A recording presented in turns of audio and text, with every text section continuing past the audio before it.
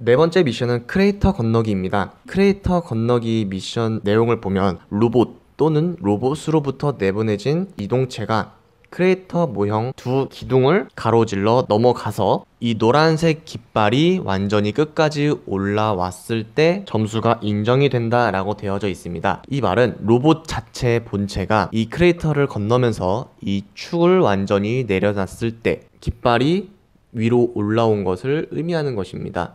그리고 이동체라고 하는 것은 이 임무 모형 앞쪽 혹은 위쪽에 놓여져 있는 이 임무 모형을 던지거나 혹은 굴려서 크레이터의 이 두 기둥 사이를 지나서 이 축을 눕혔을 때 완전하게 눕히고 깃발이 끝까지 위로 올라왔을 때 점수가 인정이 된다는 것입니다. 그리고 이 임무 모형이나 로봇이 이 크레이터에 이렇게 조금이라도 걸리게 되면 점수가 인정이 받지 못하는 것이고 이 축 기준으로 서쪽으로 완전히 지나갔을 때 점수 20점을 획득을 하는 것입니다.